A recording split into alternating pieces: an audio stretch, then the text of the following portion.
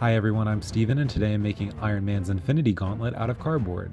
If you're curious, please subscribe, like this video, and let's get to it. My plan for this project is to make the gauntlet in two pieces, a cone for my forearm and a glove for the hand. The two pieces allow me to move my hand and wrist while wearing the gauntlet. I started by making a cone out of poster board for my arm and taped the seam together with masking tape. I went to the dollar store for a pair of gloves to use as a base for the hand. Iron Man's gauntlet is on his right hand, so I used the right glove. Throughout this entire build, I stuffed and unstuffed the glove with newspaper. Stuffing it helped the glove maintain its shape, so I could use both hands to cut and glue. Anyway, the bottom of the gauntlet tapers in at the bottom. To get this thin, inward facing angle, I taped a bunch of scrap cereal box cardboard to the inside of the cone and angled all these pieces inward. After applying additional tape so all these scrap pieces were stuck together, I carefully removed it, trimmed it down to the desired width, and then traced that piece onto a solid piece of poster board. Basically, I just made a template out of some scraps and then traced it onto a fresh piece of poster board so it would look nice and clean on the actual gauntlet. Once it was cut out, I connected it to the cone with more masking tape, keeping the tape on the inside of the cone so the outside would remain nice and clean. See, it looks so fresh and so clean. To start on the detail work, I layered a piece of paper onto the arm piece and sketched out how big I wanted the gauntlet's forearm blaster to be. I cut out what I drew and then traced that shape onto corrugated cardboard. This is the base layer of the blaster. I used the corrugation lines to help curve this piece to match the curve of my arm and then put it off to the side. I wrapped the top of the arm piece in a band of poster board to help me figure out where the stripes around the wrist will go. I then moved back to the base layer of the blaster and then cut in an opening that matched the shape that I saw in some reference photos online. Side note, this project involved a lot of pieces that I kept going back and forth to trim or change, so please forgive me if it seems like I'm jumping around. With that cutout done, I moved back to the band and gave it the angular design that I saw in some reference photos. It's difficult to see it right now in the video, but the back side of this band shifts up at your wrist. That band got super glued onto the top of the arm piece. I glued on the corrugated cardboard base layer on top of the arm piece with super glue, although in hindsight, hot glue probably would have been fine. When that dried, I cut out a strip from cereal box cardboard and glued it onto the top band to emulate the stripes Iron Man has around his wrist. I decided I wanted the stripe a little bit thicker, so I doubled it up and glued on another layer. I also doubled up the layers for the next strip, however I didn't double up the very top strip. It's barely noticeable, but in my mind it helped make the wrist portion look a little bit more tapered. I trimmed off any of the excess and then started building up the blaster with more corrugated cardboard. I stacked three pieces of cardboard on top of each other with the plan to cover them up later on in this build. However, like I just said, I jumped around when building this, so instead of doing that immediately, I moved over to pieces that kind of look like racing stripes that run down each side of the forearm. The actual gauntlet in Avengers Endgame has four racing stripes down each side, but three looked better on the one I'm building, so that's what I did. Similar to the strips at the top, the first two racing strips were doubled up with two layers of cardboard, and the third strip only got one layer. I carefully glued them on and then cut off the excess. If you're ever building a prop that has long strips of something, it's almost always better to make that piece longer and then just cut off the overhang. I do that all the time and it gives me clean lines. Anyway, on the back of this arm piece, I covered up the bottom of the seam on the cone with a rectangle of cardboard that I bent to fit. It makes it look a little cleaner and this detail is actually on the real Iron Man gauntlet. See? I think it looks kinda cool so far. So back to the blaster. Remember the three stacks of corrugated cardboard? I decided it was time to cover them up so it would look sleek and streamlined. I did this by laying on a piece of paper that I cut into the shapes that I wanted. I then traced those shapes onto poster board, cut them out, and superglued them onto the blaster. The poster board curves really nicely, and I like that it cleanly covers up any of the bumpy corrugated lines that were noticeable before. Okay, so now onto the glove.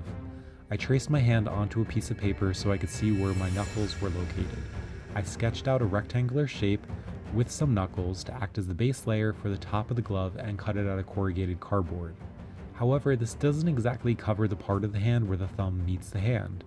So I used masking tape to tape all around the thumb and drew on some cut lines. I peeled it off carefully and then taped the back side of it with more tape to give myself a template that I could then trace onto some cereal box cardboard. I recommend using cereal box cardboard instead of poster board for this because it's a little sturdier than poster board and you don't want it to bend. I put that off to the side and then started on the rest of the fingers. For each finger, I layered out two rectangles per joint per finger and bent them around each finger so they were like little boxes. However, before I glued them onto the glove, I cut out a W looking shape to represent some of the design work on the actual gauntlet. These W shapes got glued right at the bottom, right near the knuckles, and I kept the bottom layered rectangle slightly poking through the W in order to give it some depth and a little bit more of an interesting design. Then I drew on lines on each of the finger pieces. I bent the cardboard on each line to help me get everything even and to form the rest of the boxes before I started gluing them onto the glove. This is where the stuffing in the glove comes in really handy so you won't burn yourself. I started with the bottom box, then the next piece, and then this weird little finger tip piece that I made. Everything was trimmed to fit the specific finger, and if you decide to make this gauntlet, you're gonna have to trim yours to fit your specific hand shape and finger lengths too. I took the stuffing out of the glove and tried it on, trimming pieces where it needed to be trimmed and re-gluing, and I kept at it repeating this process finger by finger. By the way, I used tape to help some of these finger pieces from popping open, but as you can see, everything moves pretty nicely. I hot glued on the thumb piece that I made earlier in this video, and then the corrugated cardboard rectangular knuckle base layer. On top of that base layer, I drew on the Infinity Gauntlet designs and started cutting out pieces to layer on top of it. The white pieces are poster board that cover up the corrugated lines, and the bigger piece is the corrugated cardboard. I had altered the design a little bit to fit with the proportions of my hand, so I apologize in advance to any of the purists out there. Anyway, I cut out each piece individually and super glued or hot glued them on depending on whatever glue I grabbed first. Okay, so moving on to some of the detailed design work. The center section looks like a little upside down U with two sides flared out, so I made another little template out of paper and tape and cut that U shape out of cereal box cardboard. I doubled that up in two layers and then added two more layers on top of it that were slightly smaller so it looks like this. See? Three visibly different layers. I trimmed it to fit and then started assembling all the different pieces. I glued and trimmed everything the entire time. All the glue was making this a little stiff, so I gently bent it so it would curve a little bit and fit the natural curve of my hand a little bit better. I decided that I didn't want to neglect the inside of the hand, so I quickly cut out a few shapes from cereal box cardboard hot glue to the palm of the glove. At this point, I probably could have started painting, but the fingers looked a little bit too plain to me. So I started using all the scrap cereal box cardboard that I had around me to add on some technological looking details. This was completely done haphazardly with a zero plan, but I did keep the patterns on top of the fingers all the same to give it a uniform look while loosely following the design on the reference photos that I was referring to. This took forever, so I did most of it off camera, and I hope that you guys don't mind. But once everything was hot glued and looking fancy, I tried the glove on, and this is where I noticed that there was a big black opening at the back along my wrist. I needed this fabric to stay fabric because that's where I pull on the glove, so I decided to use hook and loop to attach another piece of cereal box cardboard that can be removed when I need to put the glove on. I doubled this piece up in two layers of cereal box cardboard to give it some durability, and it also has a little decorative border that I'm going to paint silver later on. To help prevent the hook and loop from ripping off the glove, I just used some super glue around the adhesive strip to help it stick. Anyway, in the home stretch now. If anyone's actually still watching, let me know your favorite Infinity Stone and why in the comments section. I'm very curious who's still watching. Anyway, so for the Infinity Stones, I cut out 5 hexagons and gave each one a thin border. I then crumpled tinfoil and painted on each of the colors of the stones. My paint is not the exact colors, but I used what I had.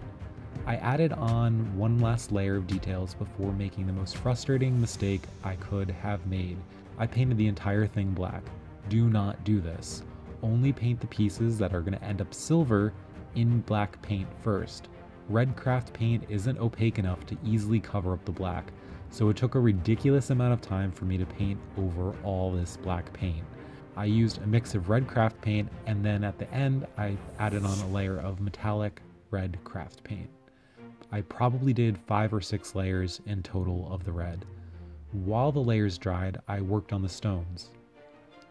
I cut the tinfoil to the hexagonal shapes that would fit in these little bases that I made. I then dumped a little mound of hot glue on top of each color.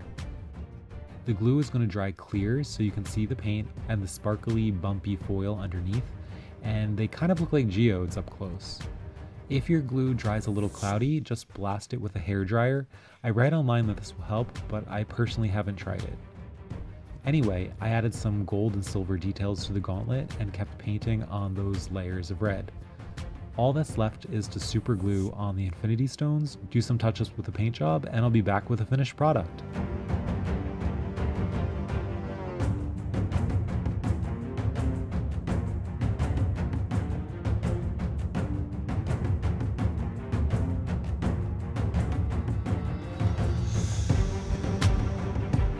So there you have it, a DIY Iron Man Infinity Gauntlet made from cardboard, masking tape, hot glue, glove, and tinfoil. It's technically called the Nano Gauntlet, but I'm fine with saying it's Iron Man since he's the one who made it. I'm pretty happy with the way it looks, although I wish I had made the Infinity Stones slightly smaller to be in proportion to my hand a little bit better.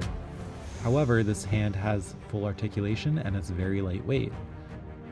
Although there are some things I'd like to change about it, I like the way this cardboard gauntlet turned out. However, let me know what you think in the comments below. I'd really love to hear from everyone. I'd also love it if you would subscribe to my channel and like this video. Thanks for watching and talk to you soon everyone. Bye bye.